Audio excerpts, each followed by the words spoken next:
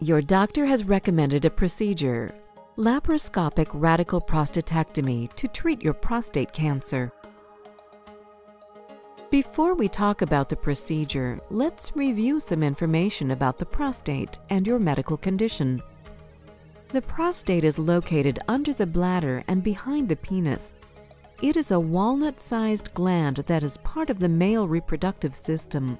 It helps make semen. The urethra is a tube that carries both urine and semen to the penis. It passes through the prostate, which surrounds it like a donut. Prostate cancer is the second most common cancer in men. It usually occurs in men age 50 and older, and those men that have a family history, especially a father or brother with prostate cancer. But the highest risk is for men that are African American and over age 70. The treatment of your cancer will depend on many factors, including the size, spread, and type of cancer, your age, and health. The options that you may have considered are watch and wait, medication including hormones, radiation therapy, and or surgery. It is very important that you understand why this surgery has been recommended for you. If you have questions, ask. Radical prostatectomy is surgery to remove the whole prostate gland, some nearby tissue, and lymph nodes. Everything removed is tested to be sure the cancer has not spread. This surgery is only used as a treatment if the prostate cancer is still in the prostate. If the cancer has already spread, then surgery does not help and can cause serious problems when other treatments are used. In fact, if during surgery the surgeon finds that the cancer has already spread and is outside of the prostate, the procedure is stopped and other more effective treatments for the situation are planned. Your surgeon has recommended a laparoscopic surgical procedure. A long instrument with a light and camera, called a laparoscope, is used. The scope makes it possible for your surgeon to see and operate on hard-to-reach delicate tissue.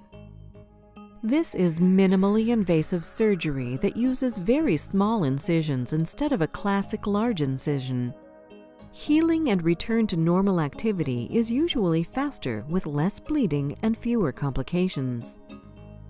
With all laparoscopic procedures, the surgical team is prepared to change your surgery to an open procedure with a larger incision if this becomes necessary. An open procedure is sometimes needed to treat unexpected bleeding or other findings during a procedure that make it impossible to do using a laparoscope. If this happens, your stay in the hospital and recovery will be longer than you originally expected. Be sure you understand why a laparoscopy has been recommended for you. Now let's talk a little more about what happens during a laparoscopic radical prostatectomy. General anesthesia and medications to make you asleep and pain-free during your procedure are given. A tiny incision is made and your abdomen is filled with CO2, carbon dioxide gas.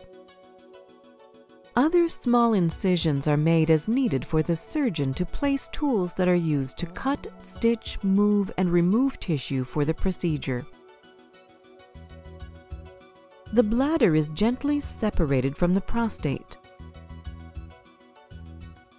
The connection of the prostate to the bladder is cut. And then the connection to the urethra the surgeon is careful to protect the nerves necessary for you to control your erections and urination. However, damage to the nerves may be necessary or unavoidable in removing your prostate. The prostate is carefully placed in a bag and removed through a small incision. This way, no cancer cells are spread Finally, the bladder is stitched back to the urethra. The surgical area is carefully inspected for bleeding and a surgical drain is placed.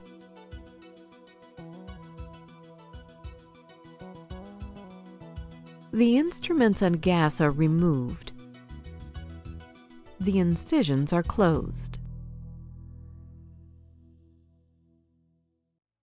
After surgery, speak up and tell someone on your care team if you have unexpected pain, dizziness, or trouble breathing. You will have some discomfort, but medication should help if you have pain.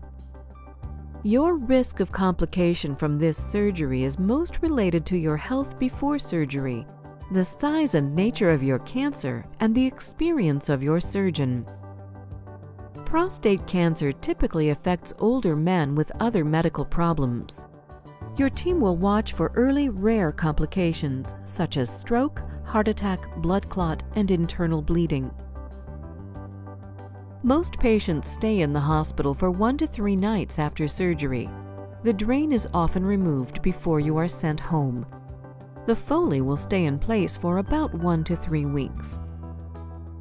Incontinence, leaking urine, is a known side effect of prostatectomy. It is normal to have after your Foley is removed. You will need to wear a pad to stay dry. Control of urine improves quickly over the following days, weeks, and months. By six months, 20% or 1 in 5 men still have some urine leakage, and 5% or 5 in 100 men have severe leakage. Another side effect of this surgery is erectile dysfunction, or ED. All men will have trouble with their erections after prostate removal.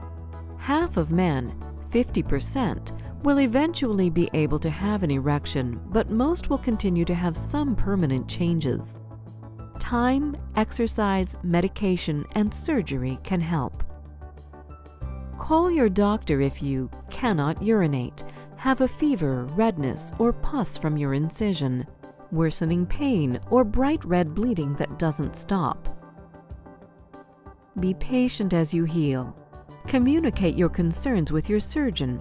If you do have long-term side effects from your procedure, you can see improvement with time, further healing, medication, exercise, or more surgery.